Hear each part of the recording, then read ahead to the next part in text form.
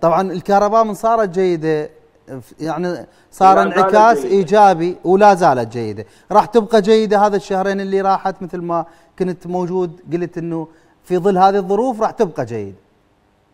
يعني أستاذ عمار اولا مراعاة ظروف المنظومة هذا اولا. يعني أي. اليوم هنالك جملة من العوارض من ممكن تتعرض لها المنظومة هذه اللي سرعان ما تعالج.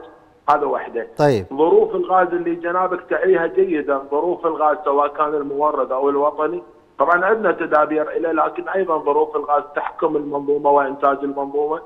ثالثا إنه تبقى جيدة أكيد مع دخولنا بذروة الأحمال الصيفية مع زيادة الطلب على الاستهلاك. م. أكيد خبره التجهيز ربما يقل عما هو مع اليوم معمول به، اليوم التجهيز فل لود، يوم التجهيز يكاد يكون 24 ساعة.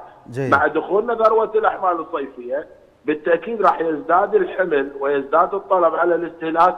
نوعا ما راح تتأثر ساعات التجهيز لكن تقول له بالمجمل يقينا أفضل من الصيف الماضي. جيد. يعني أستاذ هنالك نسبه أستاذ عمار هنالك زيادة عما تحقق بالعام الماضي ستصل بوقت يعني الذروة يعني إلى 3000 طيب الشهرين اللي جايات. ممكن إنه راح تبقى ساعات التجهيز لو راح تقل؟